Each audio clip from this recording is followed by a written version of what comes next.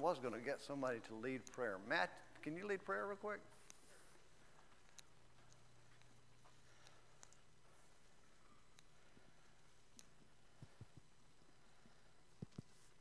Let us pray.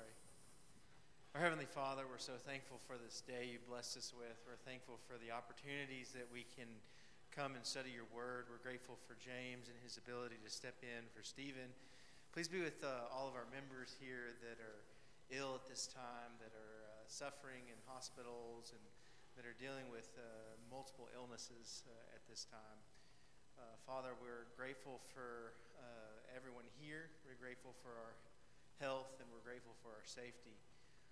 Be with everyone here. Be with those who are listening online.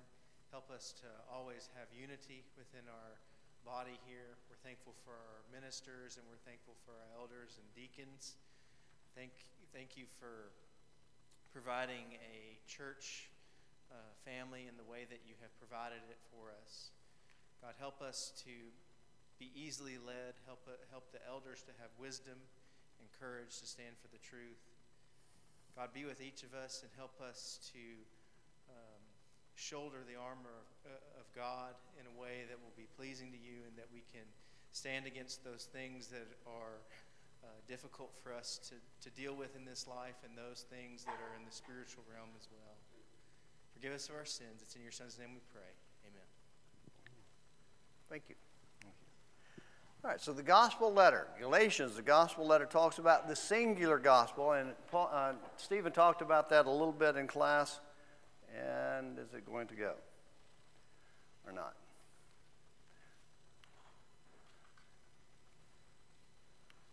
There we go. All right, I hit it just right. Okay, so the singular gospel, he talked about in chapter 1 in verses 6 through 9, where Paul is rebuking the brethren there for going into a different message. Not really a different gospel because it's not the same thing, it's something completely different, a completely different message.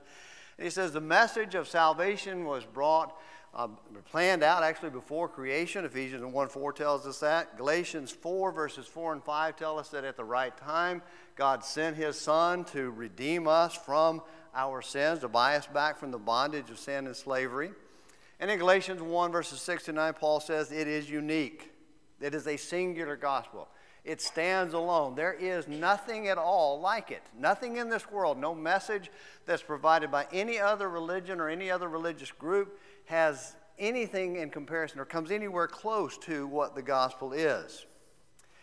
And as Paul point, or Stephen pointed out last time, or in previous two classes, the book kind of divides itself easily into three basic sections. Three basic sections or sections. The first one is the chapters 1 and 2, then 3 and 4, and 5 and 6. Pretty much any commentary or anyone that you read or study that talks about this outlines it that way. There may be some minor uh, adjustments from one group to another, but that's pretty much how the book is unfolded and how it uh, spells itself out. And the first section there, chapters 1 and 2, is that there's a singular source, and God.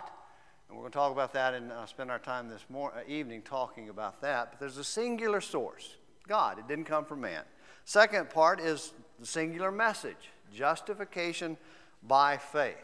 Justification by faith, that's chapters 3 and 4. And it really kind of begins in chapter 2 and verse 15, but the bulk of chapters 3 and 4 is about this message.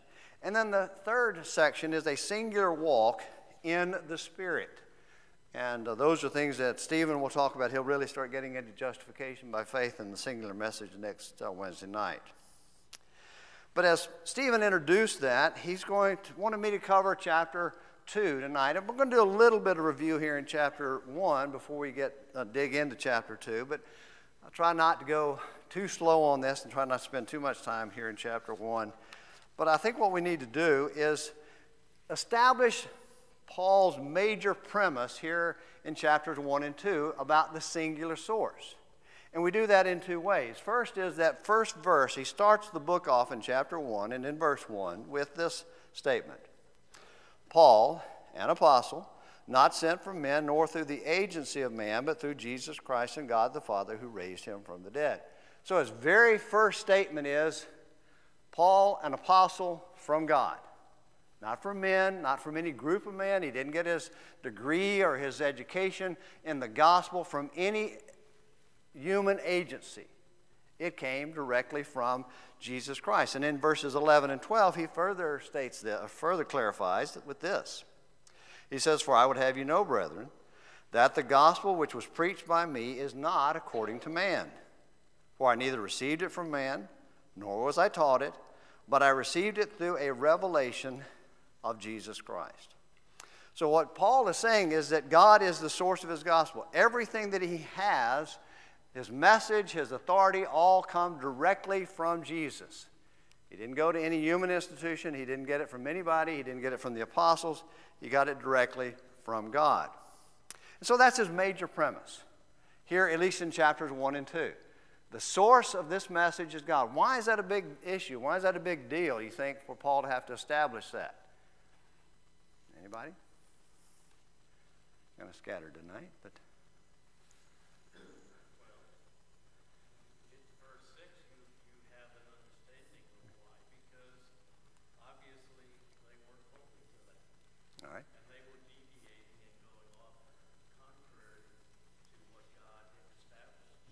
All right, so they were deviating from the gospel into something that is completely different. He makes it very clear in, those, in that section that it's something completely different. It's not even the same thing. And uh, you know, Stephen talked about that in uh, uh, the first and the second classes, so I won't really go too much into that. I just want to kind of throw that out there and make it, uh, show this to us that this is Paul's primary focus here in these first two chapters. This is from God. The message is from God, and his authority as an apostle is from God, not from men. And then, so now that we've established the premise, we have to start thinking about how does Paul prove this premise? How does he prove that this is from God? Any guy, anybody can get up and say, I have a message from God. Uh, interestingly enough, I was in a meeting at work today, and, and uh, someone made a comment about, well, my truth. Well, this is my truth. And I'm looking thinking, is it the truth or is it just your truth? And the way that the statement was being made was implying that, well, I didn't have to agree with it, but if, for this person, it was the truth, their, their truth. Well, for Paul, it's not that way at all. The message is the truth. It is not something that can be compromised. It's not something that can be changed. It's not something that can be looked at as, well, we can, it's true for you, but not for me. Can't be that way at all. But Paul has to prove that. Paul has to show that. And he uses three things, or actually one thing in three sections that we're going to look at tonight, that establishes how he can prove it's not from man. And do you know what that one overarching thing is that he uses to establish this? Anybody want to take a guess at it? All right, his conversion, but expand on that a little bit. Not just his conversion, the way, it, all right, the way it came about, but his whole, right, his whole life. Not just his conversion, but his whole life. In fact, what we're going to see is that they divide it into three categories here his pre conversion, his conversion, and his post conversion. These three, two chapters, Paul is laying out his life and saying, Look at my life and what you see in my life is proof that this is from God, that my message and my authority are from God. Pre conversion, post conversion, or conversion itself, and then his post conversion life. All of those things are evidence, proof that his authority and his message are directly from God. Talk a little bit, and Stephen kind of went over this toward the end of class, but he kind of covered it quickly, and I want to spend a few minutes here reviewing this Pre conversion. How would you describe Paul's pre conversion life? Anybody? Zealous opponent of the church. Zealous Jew. All right. And not only a zealous opponent of the church, a, chief pros- a persecutor. He was a powerful persecutor. And those are some passages that if you want to mark and make notes out to look at where chapter 9, or chapter uh, 7, verses uh, uh, 58 through 8, 3 in Acts, and then chapter 9, verses 1 and 2 are the description of Paul's life prior to that event uh, in Damascus, what happened in Damascus. Chapter 22 and 26 are his self description. 1 Corinthians 15 9 is a self description of his life prior to becoming a Christian, as is 1 Timothy 1, verse 13. Paul's talking about his life prior to becoming a Christian. He was a persecutor of the church. He had no interest in them except shutting them up, stopping them from talking, bringing an end to the sect of the Nazarene because he considered it blasphemy. So that describes who he was and his thinking about the church. And so as we think about that, we just wanted to kind of bring that out to you. Stephen covered it in class went last week, so we won't go uh, over that in, in any more detail tonight. The second thing is his conversion. Let's go to his conversion. You were pointing that out uh, about his conversion earlier. That was a unique event. The conversion of Paul was one of those things that happened in a very unique way. In fact, what does he call it in 1 Corinthians 15 and verse 8? He calls this appearance of Jesus to himself as an something very, not a really harsh word. I see a look over there. No? He calls himself, he says the appearance of Jesus was like an abortion. That's the word that's used. It's just a child untimely born, is the way it's translated in most texts. But it was something that was just so unusual. And it's important to understand that this is so unusual because, uh, at least for us today, because what do we see a lot of people doing in the world today and their desire for a Damascus experience? They want to have some kind of experience. They want to be like the Apostle Paul. But the Apostle Paul's experience, this was the only one post resurrection and post ascension appearance of Jesus recorded. That's why Paul gives it such a unique status in 1 Corinthians 15. And this was not something that happens to anybody else. And why did Jesus appear to the Apostle Paul on the road to Damascus and then send him into the city of Damascus so Ananias could tell him what to do to be saved and what his work was going to be? Why, did that, why was that necessary? Paul was just another guy that was going to go out and preach a little bit here and there. All right, he was born out of due time, and he had what? A very unique, a singular ministry. What was his ministry going to be? To the Gentiles.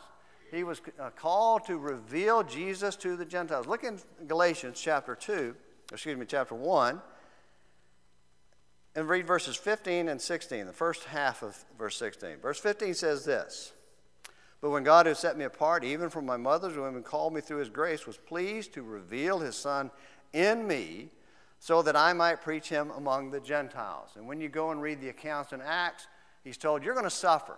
But again, Stephen talked about that, so we're not going to repeat that this evening. So his conversion is a very unique experience, is for a very unique purpose. He has a unique duty that nobody else had.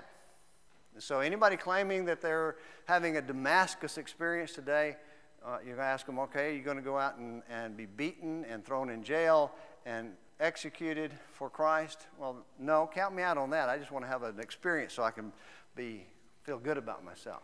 Most people are not going to be willing to do what Paul did. And God called Paul for this unique reason. Next thing is is post conversion life. Post conversion life. And we're going to spend the bulk of our time talking about this tonight. How does this post conversion life proof, uh, prove that God supplied the gospel to him instead of mankind? Anybody? He wasn't in Jerusalem with the apostles to get the firsthand message from the apostles. He kind of he kind of pictures three different alibis, kind of where he was, and tries to make the picture and paint the picture that I wasn't even with these men. I was in Arabia for three years. I was not even in Jerusalem. Basically, making the alibi statements that he does here that you're about to talk about. All right, exactly. He, he starts off by saying for the first three years of his life, or his post conversion life, as a preacher, he is nowhere near any apostle. He has no connection to them whatsoever. In fact, it says that he was a powerful preacher without human input. Notice in uh, verse 18 or verse 6. Let's go to uh, last half of verse 16 and first half of, uh, and all of verse 17. It says, After he, uh, God was pleased to uh, call him and send him out to preach, he said, I did not immediately consult with flesh and blood so there he's restating the premise, but he's now providing evidence of it. He says, I didn't go talk to anybody. I didn't go down to Jerusalem and meet with the apostles. They didn't come up here and meet with me. I didn't do any of those things. I didn't consult with anybody, really. Nor, verse 17, did I go to Jerusalem, up to Jerusalem to those who were apostles before me, but I went away to Arabia and returned once more to Damascus. And so he was in Arabia and in Damascus for about three years. Interesting thing is that when you go and you read about this in the book of Acts, it's kind of deceiving there, the language, because it doesn't tell you how long. It says immediately he began to preach in the, the synagogues there in, in uh, Damascus, and then he was preaching and teaching, and everybody was surprised by this guy that was up here to, con- to convict and to arrest and jail and carry off all these teachers of the gospel, or this message about this Jesus guy. He's up here preaching it. He's all of a sudden now a proclaimer of that same message that he was supposed to be attacking. And he's not sitting around getting that information from anybody. He's not sitting down with them and saying, okay, now what am I supposed to teach? What am I supposed to believe on this subject? What, is it, what does God want me to say in this? It's all coming from God. And then it says after a long while, he goes up to Jerusalem, but it doesn't say how long. So the book of Acts doesn't tell us how long he is up there in Arabia. It doesn't say anything about being in Arabia, but doesn't say how long he's in Damascus.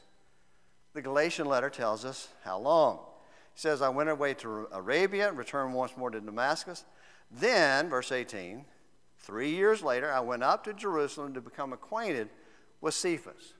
So finally, after three years of getting revelation from God, of preaching the gospel, confronting people about, uh, confronting the Jews about the gospel of Christ, he finally goes up to Jerusalem to meet Peter. He wants to go up there and meet the other, one of the, the leading apostles, considered the leading apostle. In fact, the first half of the book of Acts basically was about Peter. Second half is about, uh, mostly about uh, Paul. And so he's going to go up and meet him. And he goes up to Jerusalem, and we won't take the time to read the account in Acts chapter 9, but it's fascinating how he goes up there. He probably preaches to the very same people that he was, that he was siding with when they stoned Stephen in Acts chapter 7. And what happened? How long did he last in Jerusalem? All right, 15 days, a whopping two weeks. some of you Anybody here had COVID for two weeks? It seemed like forever, but it's over after two weeks. It's over pretty, uh, pretty much gone. It was up for 15 days. That's it. After 15 days, he has to leave Jerusalem. Why does he have to leave Jerusalem after 15 days? Anybody remember? Persecution. In fact, he had a vision. Jesus spoke to him in the temple and told him what? They're going to kill you. Get out of Jerusalem.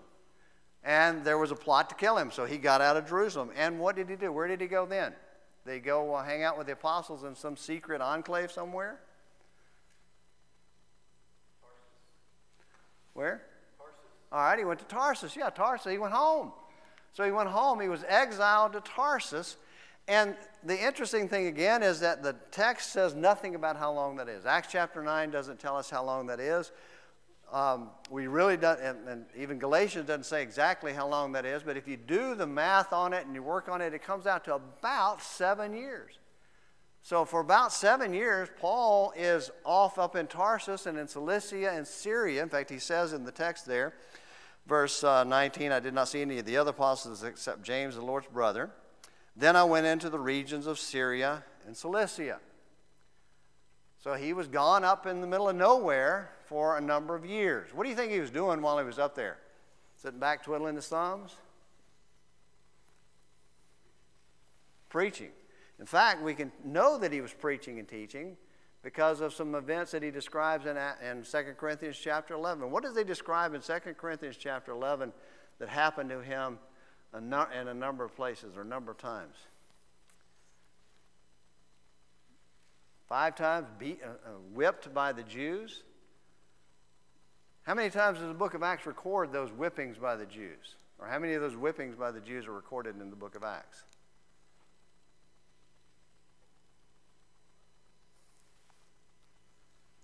Zero. None of them. And if you do the math based on when he wrote the book of Corinthians, it was probably during this time frame when he's up there in Syria and Cilicia. So, what do you think he did when he got home to Tarsus? Besides preaching, who do you think he went and preached to? Home, his home, his family, his home synagogue, his family. And what do you think probably happened? Rejected and whipped. I mean, it would be, it would be an ugly, nasty thing. You know, you think, how many of you ever got a whipping in, in school? You know, got a paddling in school? Anybody? All right. I've got a few hands up there. All right. You know, two or three swats with a wooden paddle. Oh, please don't do that to me anymore. Well, it was, it was embarrassing, but that's a different story. I mean, they would take him, strip his shirt off, strip his robe off, expose his back, and whip him 38 or 39 times to make sure that they didn't go over 40, which the law was limited in the law. But this would be a brutal, ugly event. That's why Paul, in many ways, was a walking scar. He was, he was beaten twice by the Romans. Well, one of those is described in, in Philippians, or in Acts that happened in Philippi. But another, so there was another beating. So th- this was a, a time frame where he's out there preaching and teaching and working, preaching the gospel, proclaiming the gospel message. So he's doing what God told him to do. And so this is kind of, in a sense, another way, even though he doesn't talk about it here in Galatians, but it's another a line of evidence that this is a message from God. Because what would he have done if this was a message from man after about the second or third beating? What would most of us do? Hmm? Give up. We would say, that enough of this nonsense. I didn't sign up for this. Well, Paul's faith is in God. He has one source for his message God, uh, by revelation of Jesus Christ, and he is not going to quit teaching about it. And so that's where he is for about three years, uh, about seven years up there in Galatia, or in uh, Tarsus uh, and in Syria and Cilicia. And after that, approximately 45 AD, listen, guessing he was converted around 35 AD, and so he uh, goes to, uh, uh, he's three years away, and so then he goes off into, into back up to Syria and Cilicia for from about 38 to 45, so they're about seven years. What happens to him then? What, what happens when he's up there? How does he come back from his exile?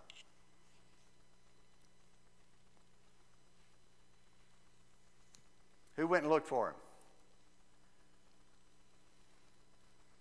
All right, Barnabas. Remember Barnabas?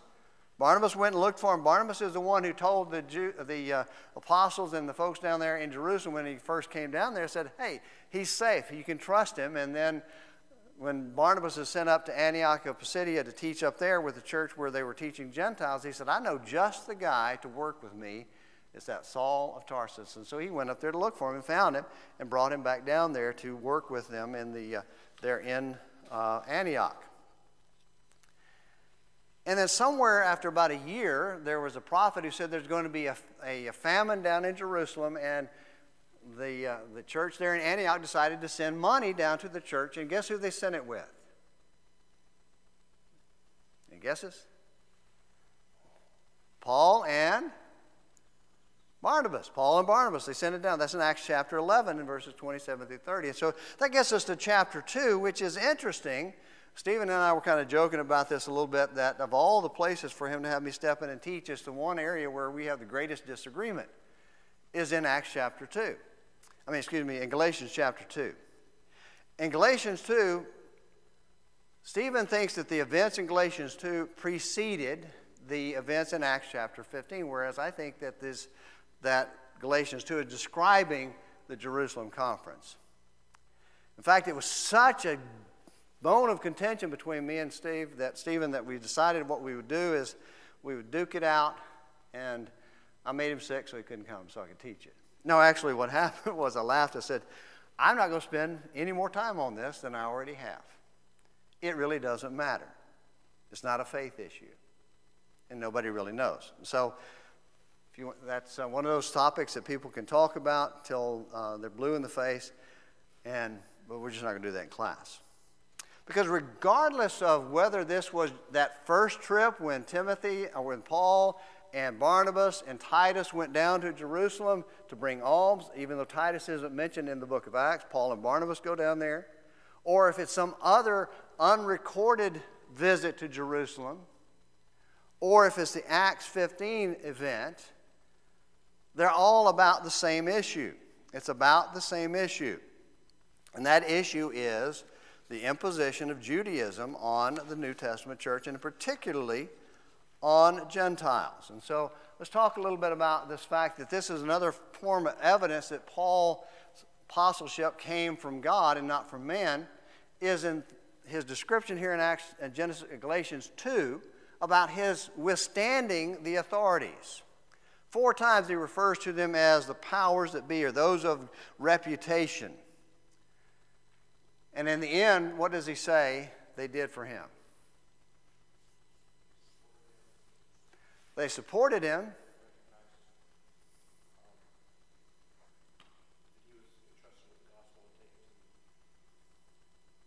To the, to the, yeah.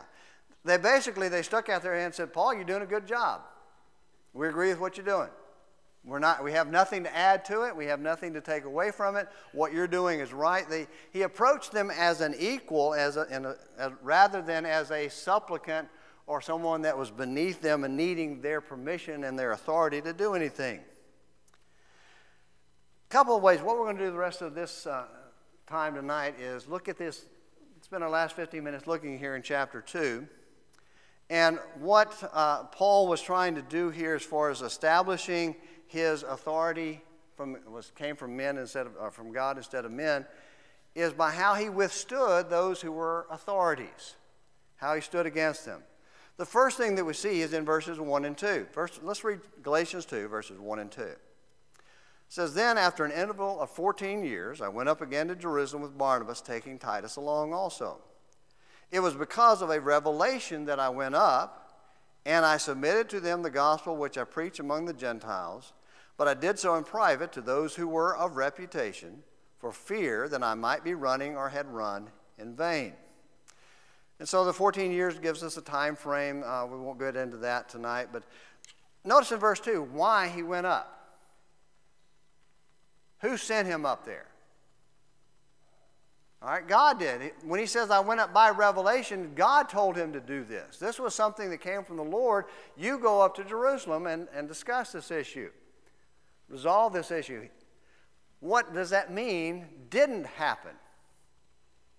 And that's a broad question, isn't it? Don't you hate those kind of questions? You know, name one thing and then say, what does that leave out? Well, it leaves out a whole lot. All right.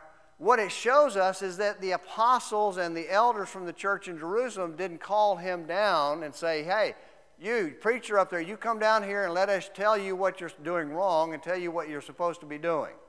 That's not what happened. He was sent up by revelation. The Lord sent him up there. And so he was sent by God to go up there and to effectively confirm with them that what they were teaching and what he was teaching was the will of God. And it says they met privately here in verse 2 for fear that I might be running or had run in vain. What's he afraid of? Is he afraid that his message is wrong? Think about that for a minute. What's he afraid of? What, what's Paul afraid of there in verse 2?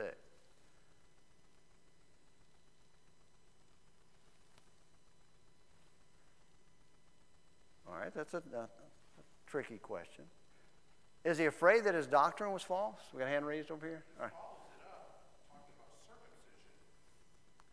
All right, well, yeah, that's the issue. We'll talk about that in just a moment. What's it? It, it does, it does, but what he's in that kind of town, the answer is the question from this standpoint. His concern is not that they're going to be right and he's going to be wrong. I think his concern is that they're going to contradict him. And they're going to stand up for the Judaizers and try to impose Judaism on Christianity. I think that's what he's afraid of. And if that's the case, then his work has been, will be thwarted. It will be undermined because he's at cross purposes with the other apostles. Because he has no doubt what his message is and who it's from. So he's not doubting his message. Right, so I think we need, that's important for us to understand that, that that's what he's saying there in verse 2. So he's confirming that, and then, uh, so they go up and they have the discussion, and whether it's in that, the same, um, same thing as Acts chapter 15, same event, or just the same topic, same subject, it, it's the idea of, of uh, not having to keep the law. And that's something uh, Stephen will get into next week uh, and, and through the rest of the class.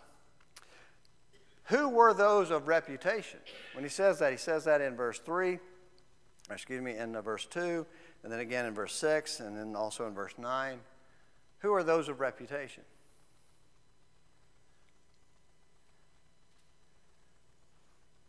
All right, I'll give you one of them Peter.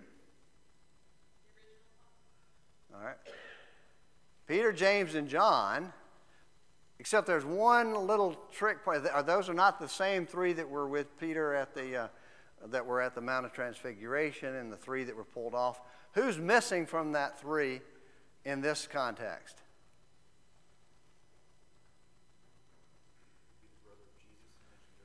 Yes, the James here is the brother of Jesus. Remember, James was killed earlier.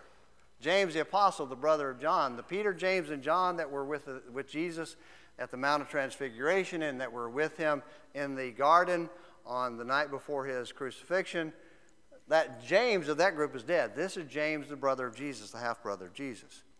All right, so that's the three people that he says there are of reputation. And Paul wasn't, some people say Paul was being uh, sarcastic with the way he used these terms. I don't think that's necessarily so. I think what he's doing, he's making the point that these, these guys were men of reputation, but they're my equals. Let's read verse 6 and 9. In, in verse 2, we read that earlier. Let's read verse 6.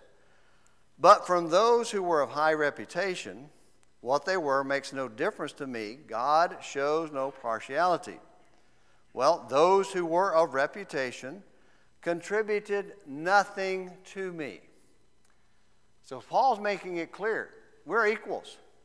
They're not above me, they're not beneath me, they're equals. They gave me nothing that I didn't already have. Where did he get his message? This is the key to this, this whole point here that he's making. His singular source is God. He didn't get it from them, either pre, at, at or after his conversion. The message that he got is from God. And so he's speaking directly from God. And so he's establishing that by virtue of the fact that when he was in Jerusalem, rather than having to uh, kowtow to or bow down to them and submit to them, he approached them as equals. And again in verse 9, it says, This is, uh, you, Matthew mentioned this earlier, and recognizing the grace that had been given to me, James and Cephas and John, who were reputed to be pillars, gave to me and Barnabas the right hand of fellowship so that we might go to the Gentiles and they to the circumcised. So he's making it very clear. They stuck out their hand and said, Guys are teaching the truth. Keep going. They had nothing to add to it, they had nothing to take away from it. They didn't give him any stamp of approval in the sense that until they did so, he was, there were questions about him. There was never a question about where his message came from and where his authority came from. Anyway, thought or question on that? Anyway. All right. All right, let's go to the next thing in there, and that is what was the conclusion? What was the conclusion? They rejected Judaism as required for the Gentiles. The Jews could live as Jews all, the, all they wanted as long as they didn't require it as part of being a Christian. In fact, the Apostle Paul is arrested in the temple because he's in there participating in a Jewish practice. He was a Jew. He had Timothy circumcised. Why did he have Timothy circumcised? But why does he say in verse 3, and this was the flashpoint issue, circumcision, verse 3, but not even Titus, who was with me, though he was a Greek, was compelled to be circumcised. because he was a Greek. The, yeah, he was not a Jew. There was no obligation. There was nothing that required him to be a, become a Jew, to live as a Jew. And it's interesting, and I, want, I do want to turn over to Acts chapter 15, and I want to read something here that I think is fascinating from the Apostle Peter, who makes the point in this chapter in this, uh, during the uh, Jerusalem conference.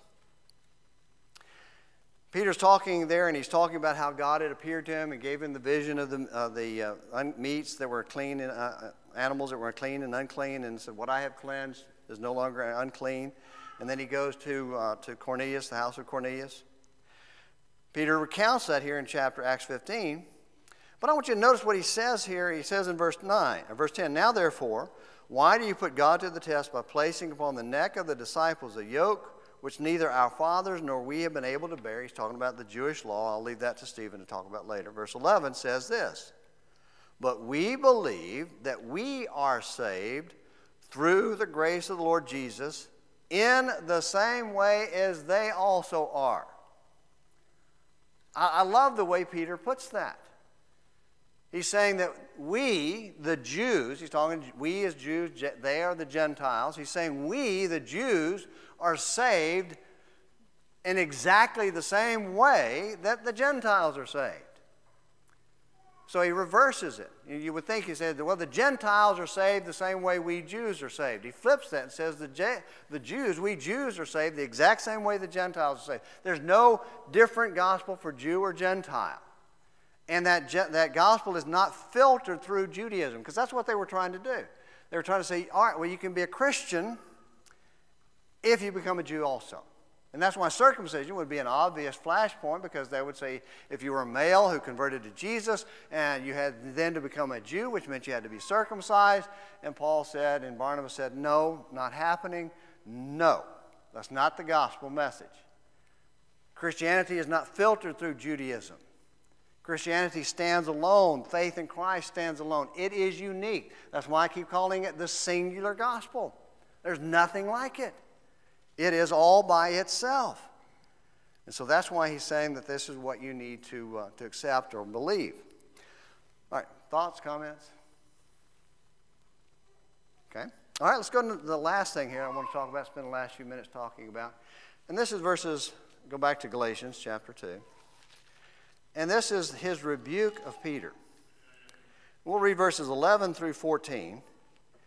Because not only does Paul go down to Jerusalem as a peer, an equal of Peter, James, and John, and the apostles, he also confronts Peter for his sin and rebukes him for being wrong, calls him down in front of the entire church in Antioch. Now, there's no other record of this event. We don't, again, that's one we don't know for sure when this happened. But when, uh, verse 11, we'll read verses 11 through 14. But when Cephas came to Antioch, I opposed him to his face because he stood condemned. For prior to the coming of certain men from James, he used to eat with the Gentiles. All right, when did he start that? Go back to Acts chapter 10 when he was sent to Cornelius, the house of Cornelius. So he was eating with the Gentiles. That would be a very un Jewish thing to do, but he was doing that because God had made it clear that this was the right way to live with the Gentiles and associate with Gentiles. But when certain men from James came, but when they came, he began to withdraw and hold himself aloof, fearing the party of the circumcision. So these brethren came up, these big shots came up from Jerusalem that were friends of James, the half brother Jesus, and they were all concerned about, you know, we don't, we don't know the inner workings, but you can imagine the conversation that went on when they arrived at this. Peter, what are you doing eating with these Gentiles? You know the unclean meats that they, what are you doing? And instead of saying, I'm doing exactly what God told me to do years before when he appeared to me, and when he gave me the vision and sent me to Cornelius, what did he start to do? What did he cave into? Peer pressure, exactly. Peer pressure doesn't work, does it? On adults, on grown ups? Ever? No, no, it doesn't work. Yeah, it works. It works on all of us. We all have to fight that. We all have to be aware of the fact that, that people will try to force us to do something to go along with them, and sometimes we should, and sometimes we should say no. But what, notice what he says to him. Prior, so these, these men came up from James, and he withdrew because he was afraid of how this would uh, look and how they would treat him. Verse 13, notice the impact Peter's example had. Verse 13, the rest of the Jews joined him in hypocrisy. All right, so he starts off, he's saying, here's what he did. Notice what he calls the beginning of verse 13 hypocrisy. So he says one thing, teaches one thing, but now when he's under the gun, under pressure, he draws back and he does something completely different. He pulls away from doing what he was teaching. With the result, uh, then in verse 13, the impact is the rest of the Jews joined him in hypocrisy. And so you had a mixed group there. You had Jews and Gentiles, and they were fellowshipping one another, and they were spending time together, and the Gentiles were eating with the Jews, and the Jews were eating with the Gentiles, and everything was great, and they were growing and growing and growing. And all of a sudden, here these guys come, these big shots come from Jerusalem, and all of a sudden, you got a division in the church. And one man could have stopped it. And that would have been Peter. But who had to stop it? Because Peter didn't. Paul. Paul had to step up and say, This is not right. Notice what he goes on to say. I mean, he leaves, he, he leaves no stone unturned in, in accusing Peter here of doing wrong. He says, With the result that even Barnabas was carried away by their hypocrisy. Imagine that. Barnabas was this great, this great worker that spent loved Paul so much and they worked together so much, and all of a sudden, Barnabas was pulled away by this. Verse 14. But when I saw that they were not straightforward, so here he's calling them they're being dishonest. They're not straightforward about the truth of the gospel. I said to Cephas in the presence of all, If you, being a Jew, live like the Gentiles and not like the Jews, how is it that you compel the Gentiles to live like Jews? So by withdrawing, he's basically saying, Well, you know, the Judaizers are right. You Gentiles have to live like us. We can't live like you and be Christians. And so Peter is a uh, Paul here is making it very clear. This his post-conversion life is showing that he withstood all the authorities because the authorities meant nothing unless they were in compliance and, and, and, and, and fit within what God had revealed. And Paul had that message that God had revealed that came from the Lord himself. So Peter is uh, Paul here is established that his message, his authority as an apostle, came from God, not from men, because when it came down to standing for the truth, he would stand for the truth no matter what it cost him, no matter whom he had to accost. He was going to stand for the truth. And that's a hard calling, isn't it? Because what do we not want to risk.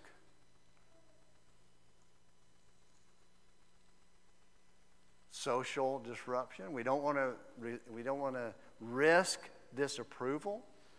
And so we pull our punches, so to speak. We, we draw back. We keep our mouths shut when we should say some things. Sometimes we say we open our mouths when we should keep them shut. But we open. We, we need to learn to be able to stand firm, like Paul did. Paul got his message from the God, from the Lord, not from men. Stephen will pick up next week with verse 15 in chapter 2 on justific- and the message of justification by faith. Thank you.